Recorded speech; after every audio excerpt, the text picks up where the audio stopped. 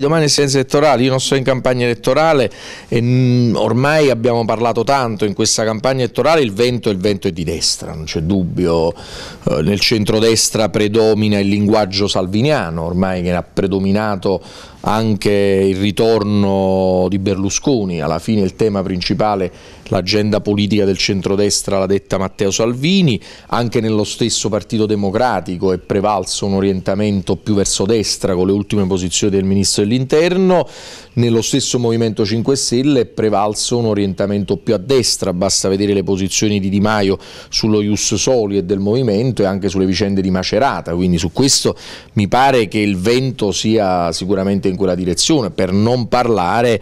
anche dell'irruzione nella campagna elettorale di forze come Casa Pound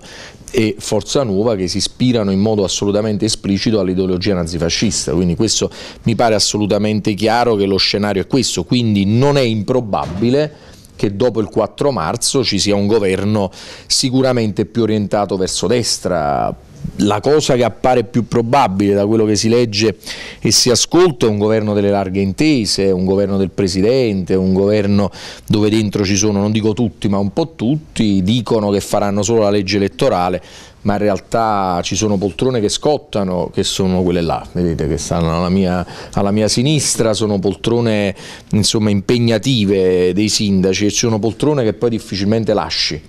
Io non credo al fatto che si vada a rivotare dopo 8 mesi, dopo 9 mesi, dopo 12 mesi o dopo un anno, quindi ci sarà un governo che durerà.